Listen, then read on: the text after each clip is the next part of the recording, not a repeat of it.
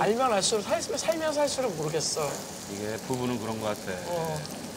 진짜 그런 것 같아. 서로 알만 하면 헤어져야 되는 것 같아. 그래 맞아. 알만해?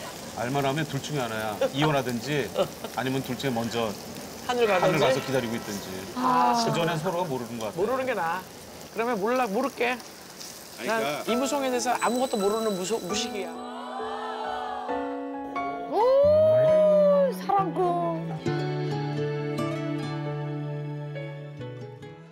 지금도 있지.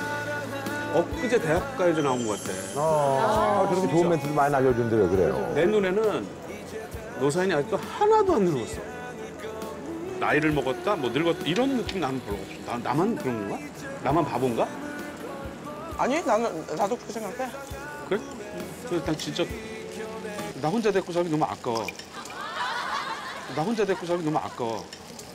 어 그래? 어? 고단수 아니야? 고단수. 나 보내려고 고단수. 바보가. 걸려도 못 믿겠네 진짜.